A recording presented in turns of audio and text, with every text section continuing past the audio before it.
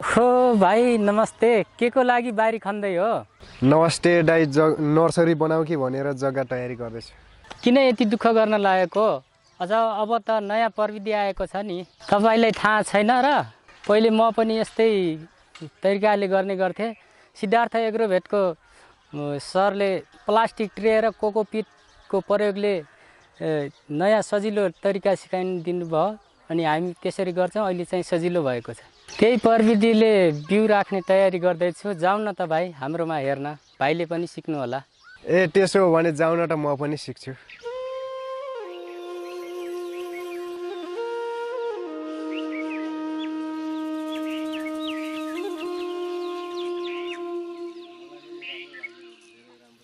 यो चाहिँ प्लास्टिकको ट्रे हो। यो कोकोपिट हो। यो नरिवलको जत्ताबाट बनेको हुन्छ। यो तयारी कोकोपिट भएको हुनाले यसमा गोबर मलहरू मिसाउनु पर्दैन। यो प्रविधिको प्रयोग गर्नको कारण के रहेछ त दाई? ल सुन्नुहोस् भाइ यो कोकोपिटको फाइदा पानीको धारण गर्ने क्षमता बढी हुन्छ होइन? अनि पोषक तत्त्वको मात्रा गोबर मल जत्तिकै हुन्छ।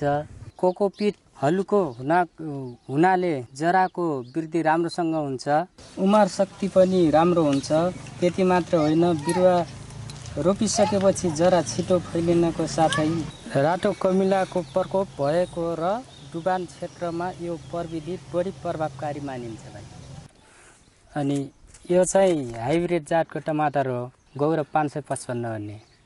यो गौरव पाँच सय पचपन्न कस्तो जात हो दाई? यो गौरव पाँच सय पचपन्न जातमा भाइरस सहन सक्ने क्षमता पनि छ उत्पादन पनि बढी हुन्छ अनि यो तापक्रम सहन सक्ने क्षमता पनि छ अनि यो बेमौसमी तरकारी बेमौसमी सिजनमा पनि यो गर्न सकिन्छ। ए।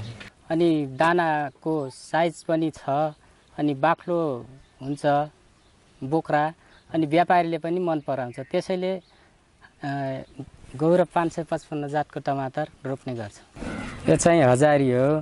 बिरुवामा सिँचाइ गर्नको लागि प्रयोग गरिन्छ। भाइ यो चाहिँ बिस घन्टा भिजाएर तयार पारिएको कोकोपिट हो। भाइ यो तयार भएको कोकोपिट यसरी ट्रेमा भर्दै जाने।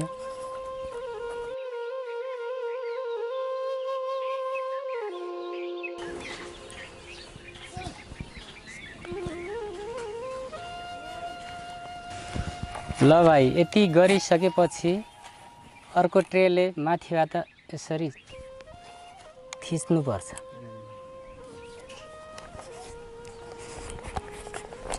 यसरी थिचिसकेपछि भाइ यो उठाएर प्रत्येक एक एकवटामा एकवटा बिउहरू खसाल्दै जाने। यो चाहिँ पन्जा हो बिउ रोप्दाखेरि प्रयोग गरिन्छ। यो पन्जा किन लगाएको भने भाइ बिउहरू विषादीले उपचार गरेको हुन्छ त्यसबाट बच्नको लागि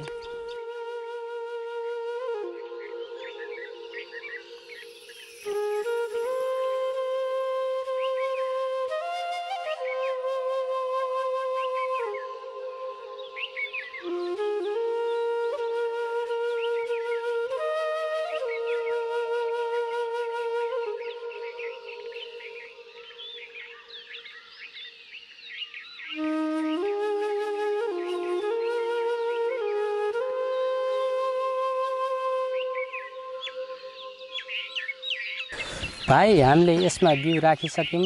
अब यही कोकोपिटले छोप्नुपर्छ यसलाई